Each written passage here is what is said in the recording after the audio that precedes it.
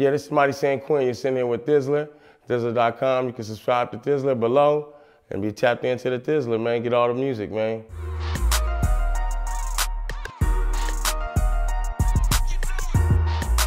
Well, what brought me into music is that um, I'm the oldest man in my family, growing up in Fillmore.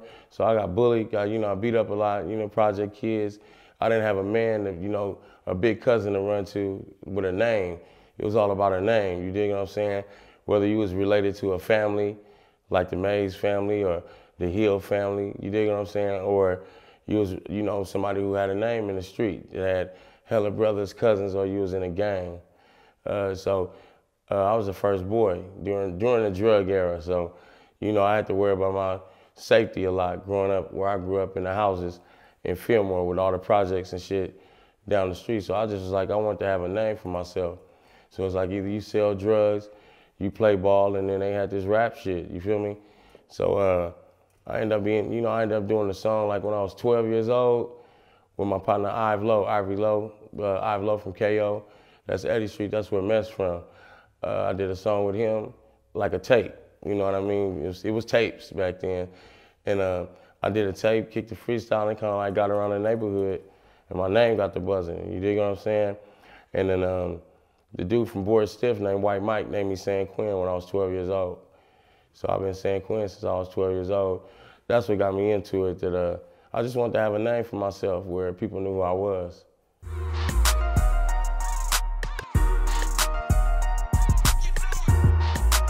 I got a new album called 89. 89, I want you to check out 89. It's uh, produced entirely by Living Proof. Living Proof, big shout out to my boy Living Proof. Uh, met with my, me and my boy Primo, Primo Management. We dropped 89. It's about the, uh, basically it's describing 89, the year 89 when the earthquake hit. So it's like San Quentin, earthquake, San Francisco, 89, you know what I mean? So we dropped it on Wednesday, October 17, 29 years to the day that the earthquake hit. So it's all good science and mathematics. So it's a good album featuring Keak da Sneak, Shady Nate, uh, Fab, uh, let me see, Beeda Weeda, Yukmouth. Uh, damn, I forgot the. Uh, I mean, it's, it's a bunch of us on there, but you know what I mean. Oh, Mickey Shiloh, that's the girl's name that sings on the song. Do you? You dig what I'm saying? And um, Living Proof Beats, it's a great album. It's an EP. It's not even an album. It's an EP.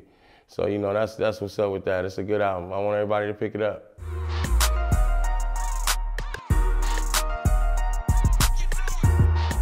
I do remember. Yep, I do remember the day the earthquake hit. I, I was going to Mission Dolores Middle School. I went to Catholic school from kindergarten to eighth grade. So I was at basketball practice. And um, the thing that made it funny is that the, the streetcars go by on Dolores and Church. So the ground always would shake when the streetcars would go by. So I'm thinking it's just a streetcar, you know what I mean? Just rumbling, but it really was the earthquake. So I couldn't tell was it the streetcar or the earthquake because it seemed like the streetcar was going by at the same time the earthquake hit, but I guess it was the earthquake. I seen the ground kind of, I seen the ground go like, like you know, almost 90 degrees, and wave, and, you know, down there in Mission Dolores, that's like one of the oldest places in San Francisco. So I'm surprised it just didn't crumble down there, but it, it did. Then after I left uh, basketball practice, just all the lights was out. None of the buses was running. And then, you know, let the looting begin. It was, big looting going on. Just people running out of Safeway, running out of everywhere. Blockbuster. It, like, it was like the, it was like the end of the world. You know what I mean? And, and once the nighttime hit, I was in the house, but I heard it got real nasty in, in the nighttime. As far as the thievery was big, yeah.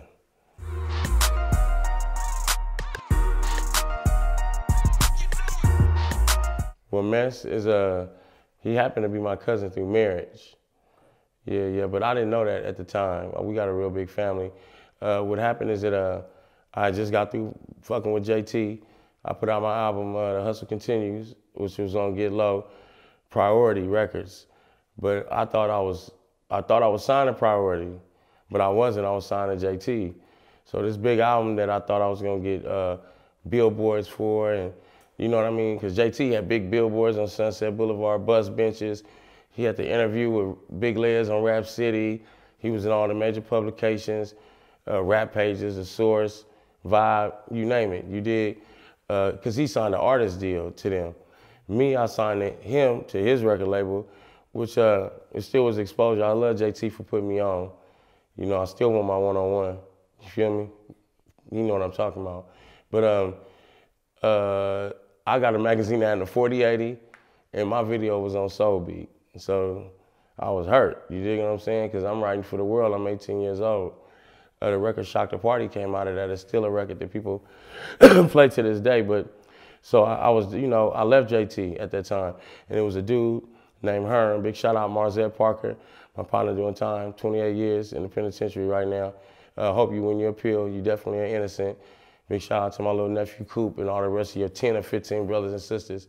Uh, one of them guys from the hood that had that paper, you dig what I'm saying? And uh, he had bought beats from the East Bay. Like San Francisco people never really got on in Oakland. You feel what I'm saying? So he had bought beats from Mike Mosley, Tone Capone, like all the top producers over here. And the album, he really had bought it from my partner Trev G, that's from KO like Marv too. But Trev didn't, wasn't doing nothing with the shit, you feel me? So Mac Minister, you know, Freedom Mac Minister, you dig what I'm saying? Mac Minister plugged me in with Hearn from Page Street. Hearn was a nigga that was balling, you feel me? That had paper, and he had spent like, he spent some good money on that, on, on, the, on the beats. So he's gonna just do the album with me. But I'm, I haven't been a selfish person at all, none of my career. So uh, I heard Messy Marv was kicking up dust down there in KO, you feel me?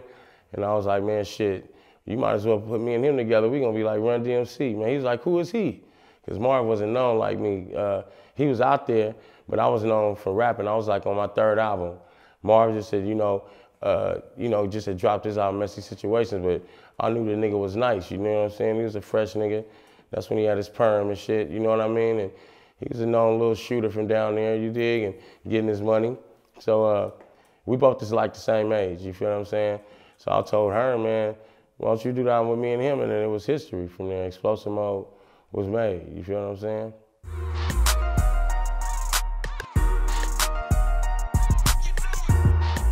I'm like 75 days clean. Okay. You feel me? So I kicked it. You dig what I'm saying? Just opioid addiction, period. Not just the H, but uh, people on Norcos and and Xanny or Xanny's a benzo. Just the, the pill epidemic, the heroin epidemic is horrible in our community now. You dig what I'm saying? It's killing a lot of people. So I wasn't glamorizing it. Was just, just letting you know that I was kicking that situation. It snuck up on me, but uh, I, I, am clean, you know, those amount of days. And I'm really trying not to count because they say you shouldn't count, but you know, I've been cool. You feel me?